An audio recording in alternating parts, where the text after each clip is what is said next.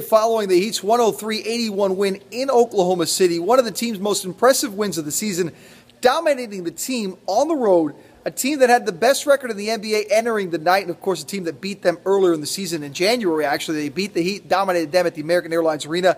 But back on the road, the Heat ended up getting the win. But the storyline of this game, not only the play of LeBron James, 33 points to lead the way, but a play on LeBron James. Serge Ibaka swiping LeBron's nose on a dunk attempt. LeBron actually finished the dunk, but he went down to the ground, had blood dripping from his nose onto the court, left the court with a towel on his nose, looking a little woozy. Heat head coach Erik Spoelstra said after the game that LeBron had a swollen nose, but they would have to reevaluate his condition when they arrive back home in South Florida. So now we await word of that as to whether LeBron will be ready to play on Sunday when the Heat host the Bulls. But again, LeBron leads the way